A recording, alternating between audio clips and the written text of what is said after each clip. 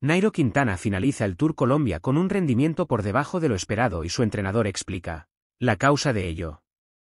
El ciclista colombiano, Nairo Quintana, tuvo un rendimiento inferior al esperado en el Tour Colombia, sorprendiendo tanto a los fanáticos entusiastas como a aquellos que no esperaban mucho. Voy a explicarte por qué, así que quédate hasta el final del vídeo. Antes, te recomiendo que te suscribas al canal Noticias del Ciclismo aquí abajo. Deja tu like para seguir aumentando esta hermosa comunidad y haz clic en el botón de suscripción para convertirte en miembro, ya que recuerda que tu apoyo es fundamental para que puedas seguir publicando vídeos diariamente.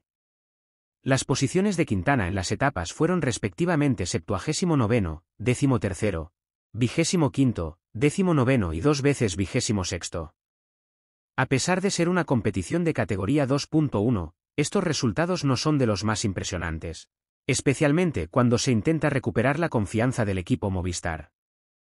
A pesar del fuerte apoyo de muchos fanáticos colombianos, Quintana perdió casi siete minutos con respecto al ganador de la etapa, Richard Carapaz, en la prueba que terminó en la subida al Alto del Vino, una escalada impresionante de más de 30 kilómetros. Sin embargo, el problema no está en la forma física del ciclista de 34 años, sino en su salud.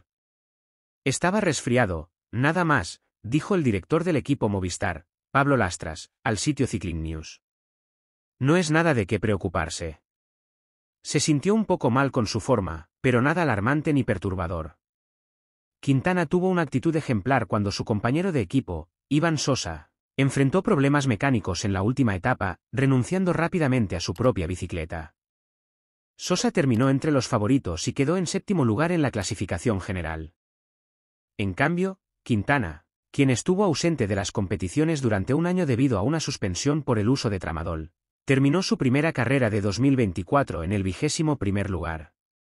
Es evidente que un año sin competir le costó mucho, porque el ciclismo se trata de ritmo, afirmó el antiguo entrenador de Quintana, Luis Fernando Saldarriaga.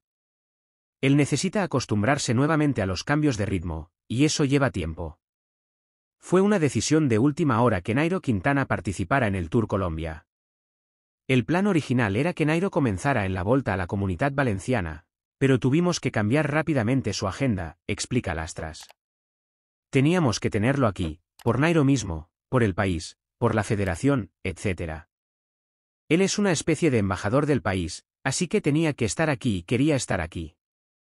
La presión para competir proviene del propio Quintana, pero Lastras cree que esto forma parte de lo que lo convierte en un gran campeón. Los grandes necesitan saber cómo manejar la presión, y Quintana sabe cómo hacerlo, ya que es un ganador. ¿Y tú, amante del ciclismo que siguió el Tour Colombia, qué opinas del rendimiento de Nairo Quintana? ¿También fue inferior a tus expectativas? Deja tu comentario sobre el rendimiento de Nairo y qué crees que sucederá en las próximas pruebas en las que participe en esta temporada. Y no olvides, si te gustó este vídeo, deja tu like y comparte. Si no estás suscrito, suscríbete al canal y activa la campana de notificaciones. Nos vemos en el próximo vídeo.